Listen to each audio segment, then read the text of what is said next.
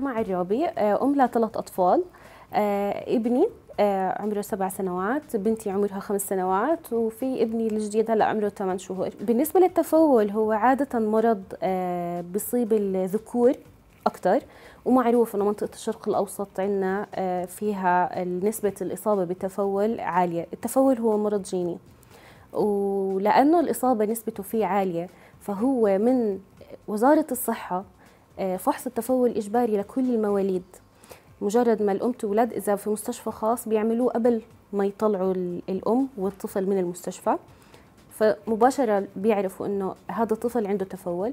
إذا ما انعمل في المستشفى ع- أول موعد له في آه، المركز الصحي البيبي بيعملوا له بسموه فحص الكعب.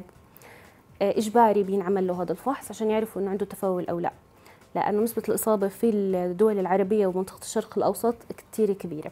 تجربتنا مع التفول كانت يعني تجربة غنية تعلمت منها. أنا بحكم خبرتي أنا كصيدلانية كنت بفكر حالي إني أنا بعرف كثير عن الموضوع. بس آه، لازم الواحد يكون حريص لأنه بابني الكبير عرفنا إنه عنده تفول وأنا بحكم إني أم و- ورضعته رضاعة طبيعية لمدة سنة. فأخذت معلومات كافية وكاملة من دكتوره إنه إيش الأشياء اللي بقدر أتعرض لها والأشياء اللي ما بقدر أتعرض لها الأشياء اللي لازم أكلها الأدوية لأنه مريض التفول مش بس الفول. آه الفول آه أنواع معينة من الأدوية مثل الأسبرين مثلا مش لازم ياخدها. آه إشي تاني اللي هي حبات النفتالين اللي الناس بتستخدمها لحفظ الحرامات اللي بيحطوها بالحمامات لل للتعقيم والتنظيف وبيبعدوا بعض الحشرات. برضو هذه الطابات النفتالين. فصراحة أنا كأم حاولت إني آه، أحمي من كل هاي الأشياء أبعده عنها. وكأم بترضع وعنده وبياخد مصدر آه، يعني غذاء مني أنا دايركتلي فكنت أنا أحاول إني أبتعد عن الفول كمصدر غذاء والأدوية اللي هي ممكن تضره. اسمي مريانا نصر. أنا أم لطفلين ركان وكريم.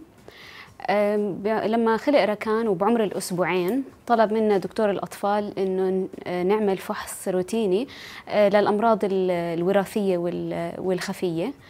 ونتيجة للفحص طلع عنده تفول. صراحة أنا تفاجأت لما طلعت نتيجة الفحص لأنه أه، ما ما عندنا في العيلة أي حدا عنده مرض تفول أو وما كنت أعرف أبدا في موضوع التفول.